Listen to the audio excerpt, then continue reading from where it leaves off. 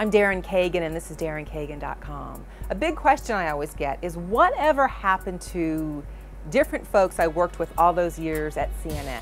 Have I got a fun post CNN chapter to tell you about? Remember Kitty Pilgrim, the striking brunette financial reporter and anchor? So smart, uh, just the facts ma'am kind of straight shooter. Her next chapter? Oh, well, everyone's really surprised because I didn't actually talk about it a whole lot when I was doing it. Oh no, we didn't see this one coming. Kitty has reinvented herself as a thriller romance novelist. The Explorer's Code is just out in bookstores and online. This very exciting book centers around the glamorous Cordelia Stapleton. She's an oceanographer who spends just a little too much time at and under sea to have much of a personal life. That is until a chance meeting at a gala in Monaco sets in motion an international chase.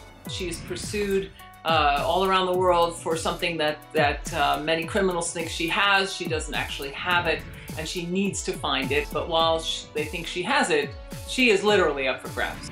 Kitty takes her readers to places most of us will never go undersea, a mysterious seed vault, and glamorous cities. So while we're all blown away and proud of our friend's newfound success, Kitty actually is pretty matter of fact about the whole thing. She says she simply wrote the kind of book she would like to read. I was reading thrillers and there was, you know, six pages of helicopter description, but lots of action and I liked the action part. And then I was reading romance and they were a little too contemplative, a little too subjective, a little too passive, and I wanted the blend. Kitty told me she got started on this next chapter while she was still at CNN. Her boys had gone off to college and she found she just had that smidge of free time. And now she loves to encourage others to try that next thing, especially you other moms out there.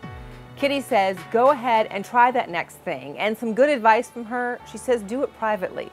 Don't look for friends and family approval before you got it down. How much more fun to kapow them with a grand surprise and trust me, Kitty's getting a good giggle over hers. So go check it out. It's called The Explorer's Code. You can find out more at her website, kittypilgrim.com. I'm Daryn Kagan, and I hope you click all around darynkagan.com for more inspiring stories that show the world what's possible.